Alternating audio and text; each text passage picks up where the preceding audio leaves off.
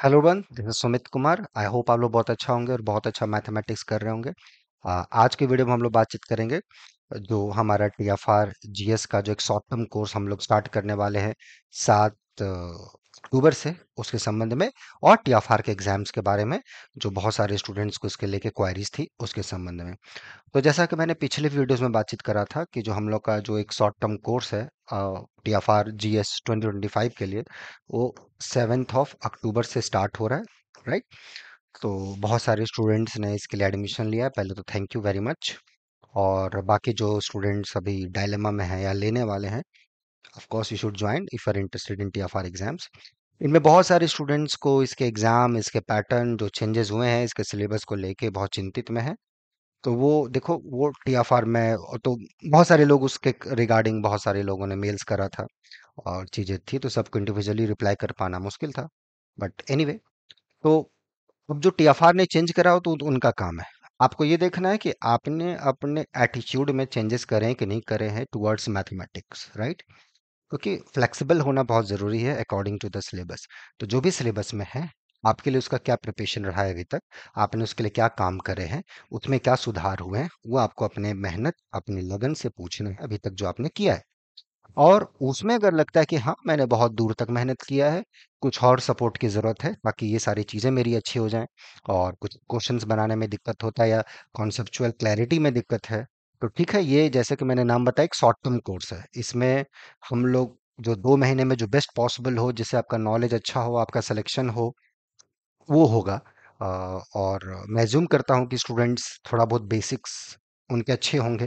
कहीं कहीं 2 महीने, तीन महीने से मेहनत किए होंगे इस टी एफ़ आर एग्ज़ाम्स के लिए तो उनको डेफिनेशन टर्मिनोलॉजी जो बेसिक टी एफ़ आर का जो सिलेबस है, वो उन्होंने देखा होगा, चीज़ों को समझा होगा, तभी वो इस कोर्स में जुड़ रहे होंगे। मुझे ऐसा लगता है और ऐसा होना भी चाहिए क्योंकि आप टी एफ़ आर का एग्ज़ाम देने जा रहे हो। ये कोई प्ले स्कूल तो है नहीं कि आप गए एडमिशन लियर हो गया। यहाँ पे एक एग्ज़ाम है, एक ऑब्जेक्टिव एग्ज़ाम होगा, फिर वो पास करेंगे, फिर सब्जेक्टिव होगा मुंबई के लिए, फिर अपना बैंगलोर के लिए क्या होगा वो लोग जाने। इंटरव्यूज़ तो अभी तक होता था, अब रिटर्न होगा, इंटरव्यू होगा, उनका काम है। जो लें आपको उसमें पास करना है, उसमें हम और आप कुछ नहीं कर सकते, ठीक है? हर इंस्टीट्यूशन का अपना राइट्स है, वो कैसे कंडक्ट करना चाहते हैं, क्या सिलेबस होगा, बट सिलेबस ऐसा ही हो जो प्रैक्टिकल हो, तो उनका काम है। आपका काम है कि उस सिलेबस के आधार पर अपना काम अच्छा देना और चीज़ों को समझना। तो अगर उस टाइप से आपको दिक्कत है, आप उस टाइप की चीज़ों को नहीं क्लियर कर पाते हैं सेल्फ स्टडी से या जो भी चीज़ें हैं और बहुत मेहनत किया है, आपके कुछ कॉन्सेप्ट बहुत क्लियर हैं, चाहे आपका टारगेट पीएचडी का एग्ज़ाम हो या एंड पीएचडी हो, जो भी आप कोर्सेस में जाना चाहते हैं, चाहे बीएससी के बच्चे हों या एमएससी में आप हों या बीटेक कर चुके हैं या आप जो भी कर रहे हो, वो आपका चॉइस है।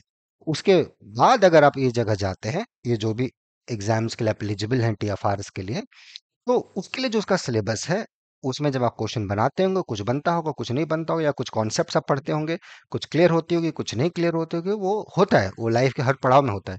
इम्पोर्टेंट ये है कि उसके लिए आपने क्या-क्या मेहनत किया है, क्या-क्या चीज़ें सीखी है और उसमें क्या सुधार हुए हैं। वो अगर सुधार हो रहा है, अच्छी बात है, अगर उसमें आप अटक रहे हो, चीज़ों को बेसिक तरीके से नहीं समझ पा रहे हो, एक लगता है कि हेल्पिंग हैंड होने से चीज़ें अच्छी हो सकती हैं और चीज़ें और क्लियर हो सकती हैं, तो ये शॉर्ट टर्म कोर्स आपके लिए ठीक है? ये सात अक्टूबर से स्टार्ट होगा और जो भी स्टूडेंट्स बीएससी में हैं, पहली पहली बार को एग्ज़ाम देंगे, उनके लिए कोर्स अच्छा रहेगा। अगर आप चीज़ों को थोड़ा समझे हो, क्लियर किए हो, तो चीज़ें अच्छी रहेंगी।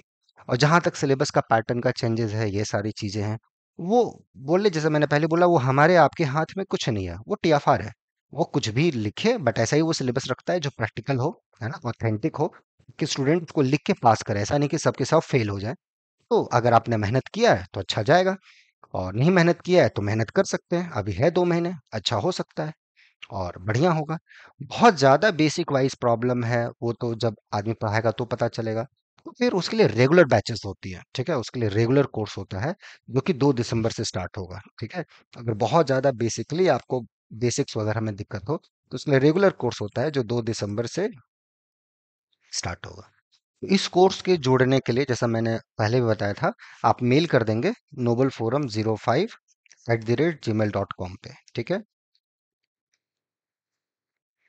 ओके? यहाँ पे आप मेल कर देंगे।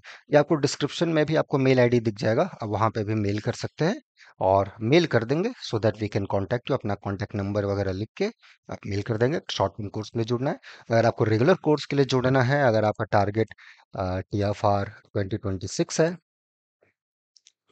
आप मेल इसी आईडी पे ही करेंगे, बट इसके लिए रेगुलर कोर्स होता है, ठीक है? अगर फाउंडेशनली बहुत स्ट्रांग आप नहीं है, लेकिन मैथ करने का अच्छा जज्बा है, मैथ सीखने का अच्छा जज्बा है तो उसके लिए रेगुलर बैच होता है, ठीक है? बहुत लोग इंक्वायरी कर रहे थे कि, सर लॉन्ग टर्म कोर्स है कि नहीं है long term course this is regular batch उसको रेगुलर बैच बोलते हैं। ये शॉर्ट टर्म कोर्स है, जो दो महीने के लिए होगा, जब तक आपका टी एफ़ आर का ये आठ दिसंबर होपफुली आठ दिसंबर को हो जाए, तब तक के लिए एग्ज़ाम चलेगा, ठीक है? तो सात से स्टार्ट होगा। आठ तक या छः तक, पाँच तक जब भी चले, चलेगा और तब तक मज़े से हम लोग सीखेंगे। क्लासेस होंगी, सारा कुछ आपको मज़े से चीज़ों को सीखा जाएगा अच्छा रहेगा तो मेल करेंगे। और बाकी जो सिलेबस का डायलमा है आप लोग को, वो सब चीज़ थोड़ा सा हटाइए। ये देखिए कि जो नॉलेज है, उसको आप कितना अच्छा कर सकते हैं और आगे कैसा आप ग्रोथ कर सकते हैं, ठीक है? उसमें कोई ज़रूरत है, कॉन्सेप्चुअल क्लैरिटी की और अपने नॉलेज को इन्हांस करने की, कॉन्फिडेंस और अच्छा हो आपका, उसके लिए शॉर्ट कोर्स है तो मेल कीजिए, फिर हम लोग मिलते हैं। सात अक्टूबर से और चीज़ों को एंजॉय करेंगे। ठीक है? Till then enjoy the subject with care bye